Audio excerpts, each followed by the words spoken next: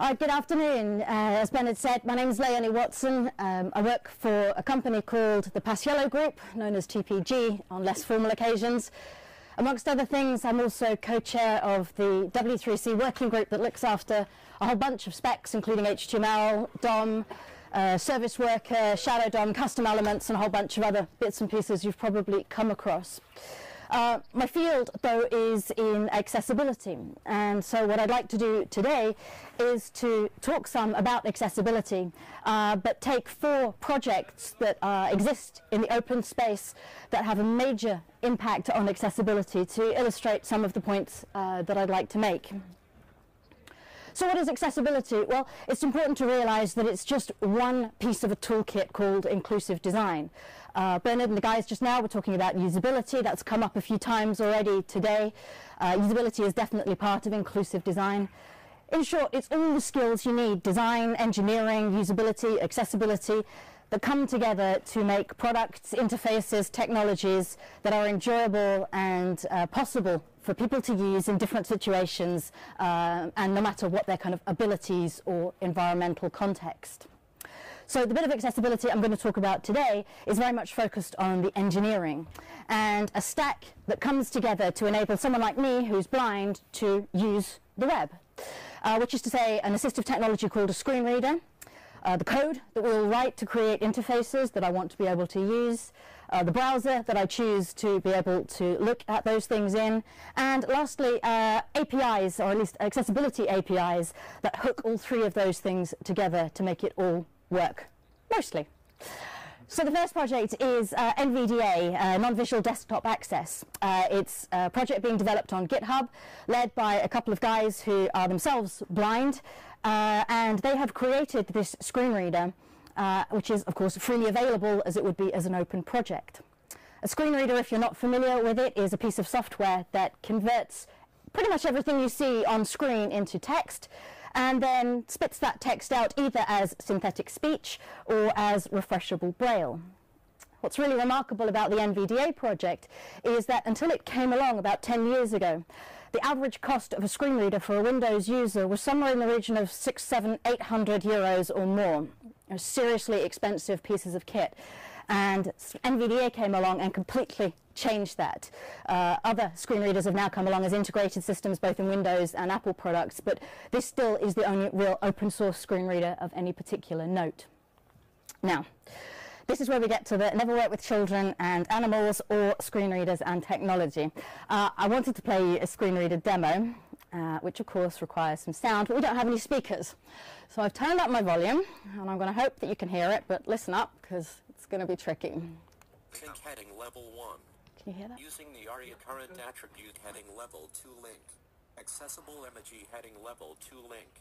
Using narrator dev mode heading level 2 link. And yet somehow we were all still here heading level 2 link. So what that said very, very quietly was uh, it, as the highlighted headings um, showed up on the screen, the screen reader was reading each of those headings. Uh, screen reader is very good at reading all kinds of different pieces of content. In this particular case, it was looking at the H tags in the HTML and announcing the text that was inside them. Uh, these headings happen to be links as well because it's a pretty standard blog format. And the screen reader, if you could hear it, was also announcing the fact that it was a link. Uh, another quick demo, uh, screen readers, as well as navigating to kind of different chunks and elements of HTML, can just actually read content uh, straight through. Heading level 1 using the ARIA current attribute. Blank.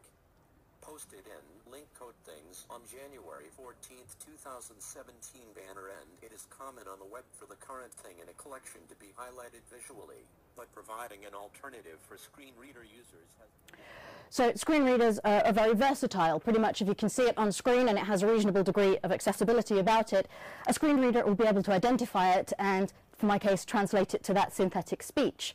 Uh, it's not the most beautiful sounding speech. Uh, some text-to-speech engines are much more human-like. They tend to be a bit slower. So if you're an impatient user like me, you tend to stick to one of the voices that sounds a bit more robotic because it's a bit quicker off the mark. The next project I want to tell you about is HTML, which probably doesn't fall into the classic definition of an open source project. Uh, it's developed by the W3C, but the W3C has changed a lot in recent years, and it's actually now possible for anyone who's interested and willing to contribute to any W3C specification.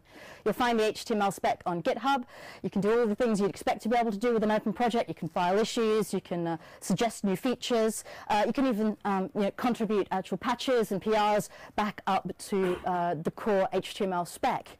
The only condition is, is that if you're not a member of the W3C in any capacity, we just ask you to please uh, sign away your patent rights to it. Something that's uh, very dear to all W3C projects is that we ensure all the technologies are available patent-free, royalty-free for anybody who wants to use them in perpetuity. But beyond that, uh, the more the merrier. We want help from lots of different developers. So HTML is important in the accessibility stack because that's where screen readers get a lot of the information that you just heard being spoken.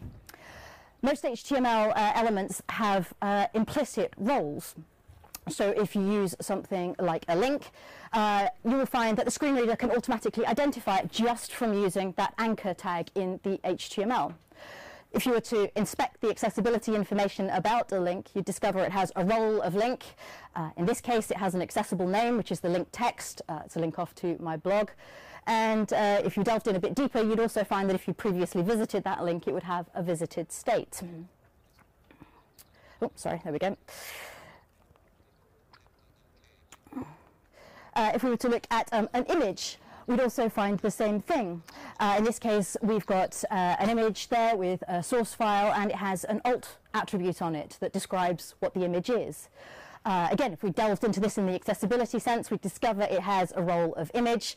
Uh, it has an accessible name. That's how a screen reader can identify it. And in this case, it comes from the alt attribute.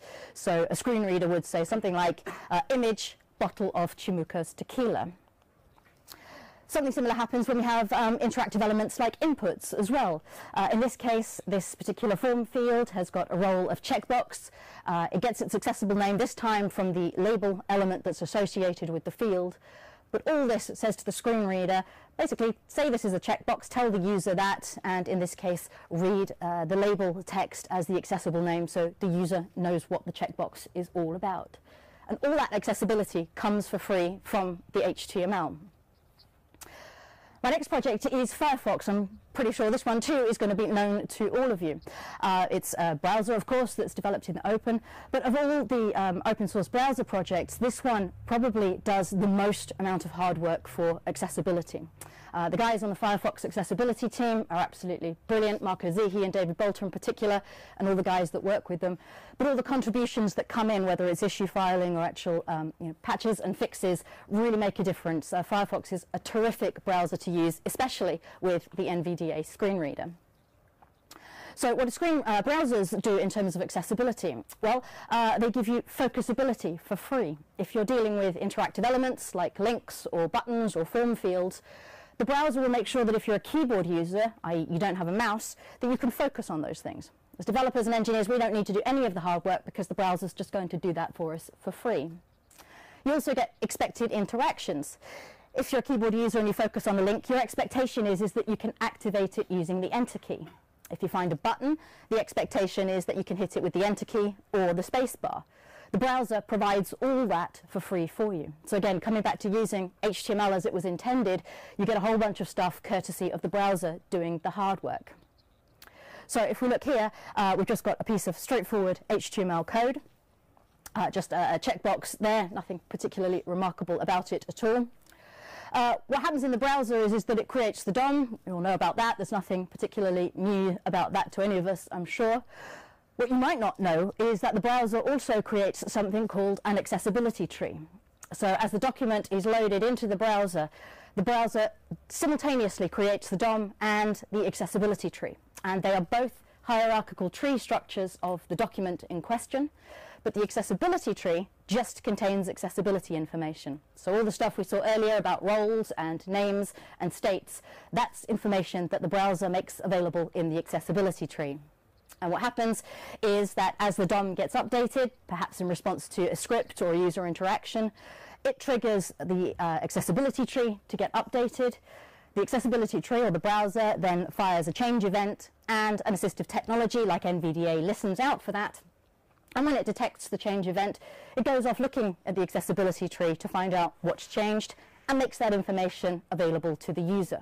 So a good example is a notification that gets added to a page. Visually, it's really obvious. A bit of content's just appeared, probably slap bang in the middle of the page. To me, who can't see that, uh, I may never know that that piece of information has appeared on the page. But these cascade of changes in the accessibility tree and the way the screen reader can deal with them mean it's possible for my screen reader to tell me that that piece of content has appeared. So the last piece of uh, the thing I want to talk about is accessibility APIs, and in particular, uh, one that is very much in incubation at the moment. it, it isn't uh, actually a thing yet, but it's well on its way, and it's called the Accessibility Object Model. Uh, we have um, a whole bunch of accessibility APIs at the moment, and they're all available on different platforms, on Linux, on uh, Windows, uh, on all the Apple platforms, and Android. And these APIs are how screen readers currently get at all that information in the accessibility tree. They query the accessibility tree using one or more of these APIs. And these APIs exist at the platform level. So if you have a platform control like this checkbox in Windows, I know, I'm sorry, I probably shouldn't have Windows at a conference like this, so you can take me out and shoot me later. But if you have this control here, you will find that, like the HTML we were looking at earlier, it has a role of checkbox, it has an accessible name, and all the bits of information we're coming to expect. We can then recreate exactly the same thing in HTML, and the available information to a screen reader using the same API is absolutely identical. So a checkbox is a checkbox is a checkbox as far as a screen reader user is concerned. All of these uh, relationships, if you're curious, between the, uh, the platform level controls and the ones that appear in HTML are available in another W3C document. So if you're curious to know what all the roles and mappings are for different HTML elements, um, that's the place to go. But there's a catch. The problem at the moment is that none of those APIs can be used by us engineers and developers. Uh, they are really exclusively for use by screen readers. Why I like the idea of the AOM, the Accessibility Object Model, is that it's a JavaScript API and it's setting itself out to do some really interesting things. It's going to give us as developers access to the accessibility tree in the browsers. So we, like screen readers and other assistive technologies, will be able to query that accessibility tree and find out what accessibility information is available about existing nodes. More than that, we're actually going to be able to create virtual nodes in the accessibility tree. So if there's something in the DOM that in itself isn't particularly accessible, we can make it more accessible using scripting by updating the information that's available about that same thing in the accessibility tree. So it's going to be an extremely powerful uh, next stage, if you like, in terms of accessibility. So that's really your open accessibility stack. You need a screen reader or an assistive technology if you're someone like me to be able to get to the web page or the browser and you know whatever it may be in stealth. We need people using good technologies like HTML that have a lot of built-in accessibility. Um, you can fix um, accessibility if you choose not to use HTML in its native sense, but it's harder work for us and harder work accessibility-wise too. Use good browsers like Firefox that really do champion accessibility and support a great deal of many features. And lastly, um, keep an eye on something like the AOM because it's really going to be a game changer, particularly in the way we code complex web applications and interfaces over the next few years. And that's be done. Thank you very much.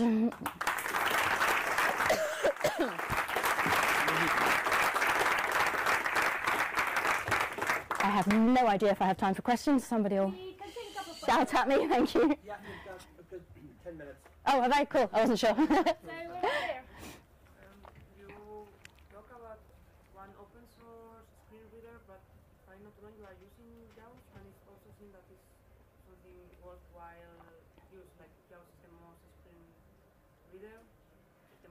popular one, and I wonder if there is much difference between the one you mentioned and JAWS or other. Uh, you mean between NVDA and the ones that you have to pay for, or? Yeah, Actually, no, very little difference at all, um, which is the other remarkable thing about NVDA. Um, so you compare two guys plus, you know, a, an open community working with them of perhaps 20 regular contributors uh, to some of the companies that make the proprietary screen readers, Microsoft, Apple, um, Freedom Scientific, who you know, have got all this income coming in. And actually, feature for feature, there is nothing I'd really care to call in terms of the difference between NVDA and any of them. more questions? Like one of the two of you? Okay. We've Um, done yeah, in our current project, we uh, tried to implement um, accessibility.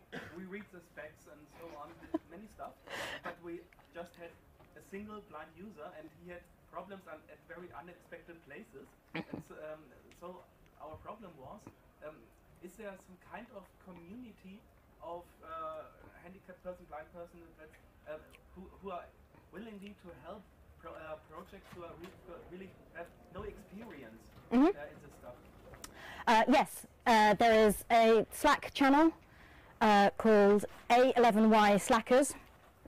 Uh, if you're not familiar with it, A11Y is a bit like I18N. It, 11 is the number of letters between A and Y of accessibility.